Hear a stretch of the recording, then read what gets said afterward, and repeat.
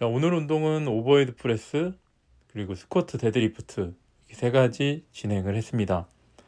어, 이 세 가지 다 진행을 하는데 힘들지 않냐고 물어보시면 어, 힘들지 않았습니다.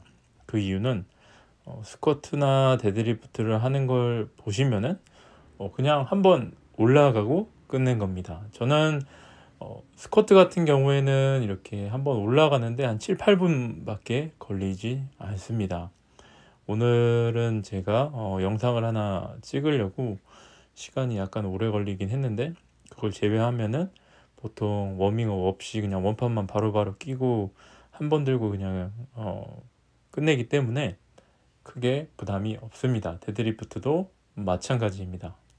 그렇다면 이렇게 하는 운동이 무슨 의미가 있냐라고도 하실 수 있지만 어, 제가 경험해 본 바로는 충분히 의미가 있습니다. 근성장적인 측면보다는 어, 그 해당 패턴을 연습하는데도 도움이 되고 그리고 어, 이 어, 근육의 컨디셔닝도 어, 도움이 되는 걸 느낍니다. 아무리 그래도 어, 웜업을 하면서 관절도 풀리고 그리고 어느 정도 한번 몸통으로 어, 잡아주는 연습도 되기 때문에 어, 한번 여러분들도 연습을 하면 좋을 것 같습니다.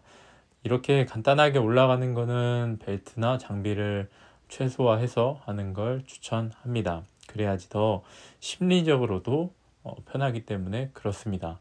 이 심리적인 피로도가 정말 어, 높습니다. 그러니까 중요합니다. 그렇기 때문에 가벼운 마음으로 훈련을 진행하는 게 어, 굉장히 중요한 요소 중에 하나입니다.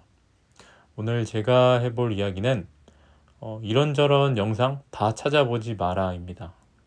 어, 인터넷에 그리고 유튜브에 굉장히 많은 어, 운동 코칭 영상들이 있습니다. 어떤 분은 뭐 스쿼트를 뭐 어떻게 해라, 어떤 분은 스쿼트를 저렇게 해라, 어떤 분은 deadlift를 이렇게 해라, 저렇게 해라. 사람마다 굉장히 상이합니다.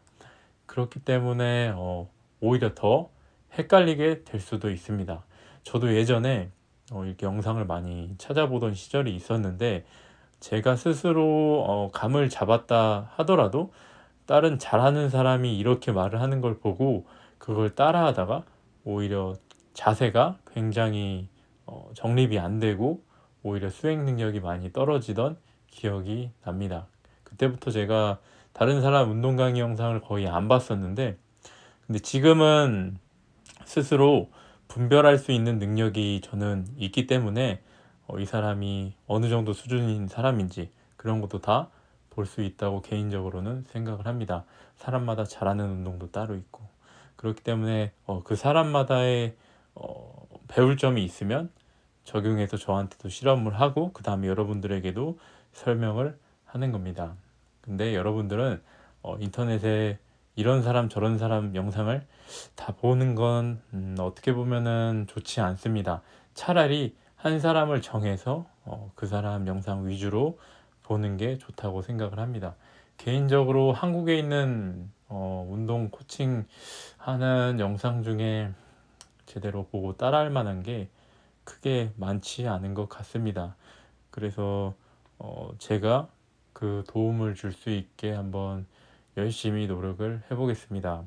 운동 기본 강의 영상을 찍고 싶은데 어, 제가 혼자 운동을 하고 편집 실력도 변변치 않다 보니 그냥 자연스럽게 지금까지 코칭하듯이 그렇게 찍어서도 한번 올려보겠습니다. 그래도 도움이 될수 어, 있도록 노력을 하겠습니다. 어, 그래도 영상을 보지 말라는 건 아니고 내가 어, 추구하고자 하는 그런 스타일인 것만 보고 내 체형과 내가 추구하는 스타일을 보고 어, 나한테 적용을 많이 해보시면은 어, 정말 많은 도움이 됩니다. 근데 저도 예전에 하던 실수 중에 하나가 어, 토시키 아실 겁니다. 뭐 스쿼트 센파이라고 하는 그 일본 스쿼트 잘 하시는 분. 그 사람이 스쿼트 하는 모습을 보고 어, 얼핏 보면은 약간 척추를 신전시키는 느낌이 있습니다. 영상을 보시면은. 근데 아마 그분은 실제로 그렇게 하지 않을 겁니다. 근데 제가 보기에 그런 줄 알고 옛날에 한참 그거를 따라하던 시절도 있었습니다. 그때는 굉장히 감이 안 잡혔었는데 어, 이렇게 또 내가 눈에 보이는 거랑 실제로 그분들이 하는 것과는 차이가 있습니다. 그래서 어, 일단 눈으로 보고 따라하는 것도 좋은 방법인데 어, 그걸 떠나서 그 사람들이 말하는 걸 한번 잘 들어보시면 도움이 될 겁니다. 어떤 걸 강조하는지 그리고 그 강조하는 게 사람마다 또 받아들이는 게 다르기 때문에 계속 그 힌트를 갖고 내가 어, 방법을 찾아내야 됩니다. 예를 들어서 배를 잡아라라고 하는데 어떤 사람은 그냥 부풀리기만 하고 어떤 사람은 복근을 수축시키고 이렇게 다 다르기 때문에 어, 내걸 만들기 위해서 계속해서 당금질을 하면서 실험을 해보셔야 됩니다. 중요한 거는 잘 안 됐다 한다면 전과 다르게 시도를 하셔야 된다는 겁니다.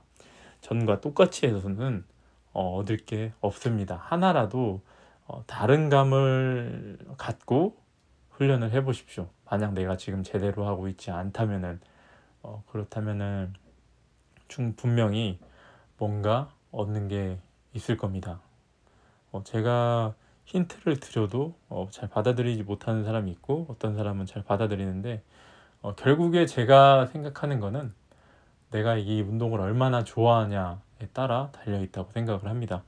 정말 좋아한다면 잘할 수 있을 겁니다. 오늘 영상 여기까지 하겠습니다. 감사합니다.